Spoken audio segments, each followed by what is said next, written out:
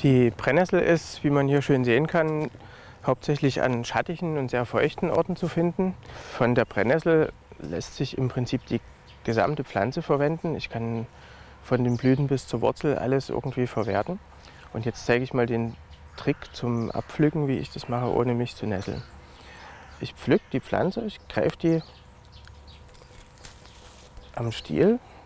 Die Nesselhaare an der Brennnessel, die, wie man sie hier am Stiel sieht, sind immer von unten nach oben gerichtet. Das heißt, wenn ich die Pflanze von oben so anpacke, dann würde ich mich nesseln. Dann fasse ich in die Haare rein, die brechen ab und schießen mir in die Haut und verbrennen mich. An den Blättern sitzen die Haare an der Unterseite. Die Oberseite hat eigentlich keine, die kann ich gefahrlos anfassen.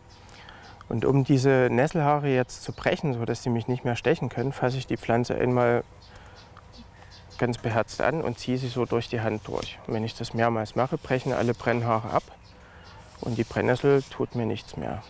Wenn noch Brennhaare dran sind, dann gehen die beim Waschen und Kochen und Zubereiten verloren. Die Brennnessel lässt sich in der Küche komplett als ganze Pflanze verwenden. Am meisten werden wahrscheinlich die Blätter verwendet. Die kann man, die hier sind jetzt schon ein bisschen alt. Könnte man klein gehackt als Spinat verwenden oder getrocknet als Tee.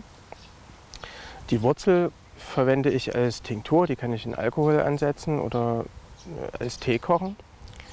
Und wir verwenden hauptsächlich für Salate, Smoothies und auch für den Spinat diese Spitze. Die letzten paar Blätter, die sind noch zart, die lassen sich auch so mit dem Finger leicht abzwicken. Diese zarten Brennnesselspitzen verwende ich beim Frühstück.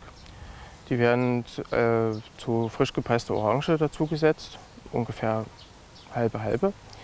Und das Ganze wird noch mit, mit Nüssen und Honig ein bisschen aufgedonnert und das ist fast mein tägliches Frühstück. Und das macht sich auch bemerkbar. Die Brennnessel entschlackt. In der Erkältungszeit nutze ich getrocknete Brennnesselblätter als Hustentee. Das funktioniert auch sehr gut. Alle Gastgeber und Rezepte unter www.topfgucker-tv.de